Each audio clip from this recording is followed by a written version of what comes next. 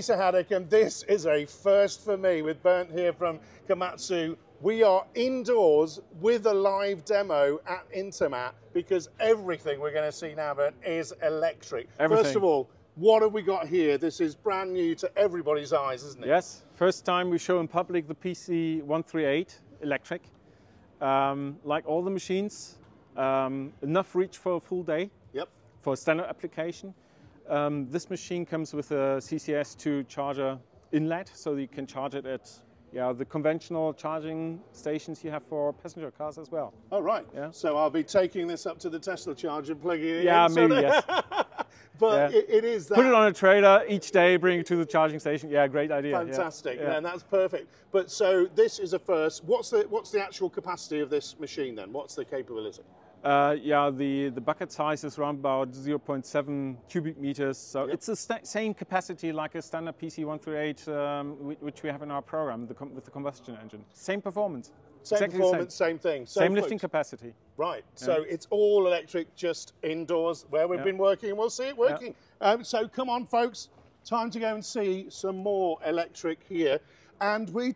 Tony, coming over now to the sisters, folks. The Sisters, Komatsu yes. sisters Or here. brothers, Uh, maybe. or brothers, whatever. Um, two products that we've got here: the, the 26E, and then over Yeah, there the 20E. So- So, tell me a little Yeah. bit about So- this pairing. Also, first time in public, um, not available yet. We will be introducing those machines in the course of the next years. Two ton, 2.6 ton excavator with cabin. Um, these machines come with an onboard charger, so you can charge them at any uh, plug you, which you find at the wall. yeah, household plug, Yep. maybe a bit slow. If you have a bit more power, might be easier going. Uh, and also the uh, possibility to charge with an external fast charger. Yeah. And so the fast charger again, when you're you know down with your shift for an hour, just Yeah. topping it up. Yeah, you can top it up within one hour then. That's yeah. fantastic. those two guys, because the batteries are not so big. Yep. Because also, yeah, I mean, these are not the, the biggest engines which you have in the in in in, in the in construction machines. That's yeah. right. They're smaller machines. The small machines, less capacity needed, less battery capacity needed. So yeah, but again, enough battery capacity for a whole day of working, standard working. Huh? So, Fantastic. It doesn't stop here, folks. It doesn't stop.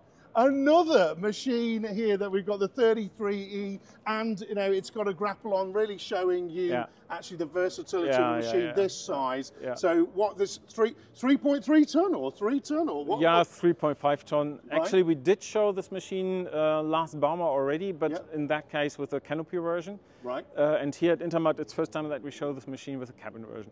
I mean, majority of the three and a half ton machines are used in Northern Europe, and I think most operators don't like to, to sit in the open. Yeah, Absolutely, so- I'd rather be yeah. inside that cabin. What we see there is, you know, you've got a lot of visibility from that cabin Yeah, as well, haven't yeah, you? You yeah, know, as yeah, well as the charging options again for this are yeah. very similar, aren't Yeah. they? And not to forget what is also quite important about these machines, silence. Yeah. Yeah, so for the, the, all the operators which have used these machines, they really said it's, it's great to work in this very smooth environment. And these units are out there with customers, aren't they? You've been selecting customers yeah, around very the good feedback already. Yeah. Yeah. they're happy with the reach. Yeah. Yep. Okay, when you do heavy duty working, yeah, it's not for a whole day. Yeah. Yeah, yeah.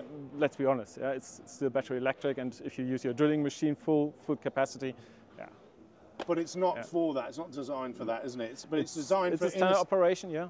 Yeah. In the city and, and Yeah. of course compact radius machines as well. So you know, lots of manoeuvrability. But it does really look when you look at these machines, at the glass around them, the visibility around them for the Yeah. operators Yeah. is Yeah. Komatsu, Yeah. isn't Yeah, it? yeah, you know, yeah, people yeah. will know the Komatsu brand, and, and that's why you know Dish Going Electric's not really changing the, the formation of the No, whole no, uh, no, unit, is it?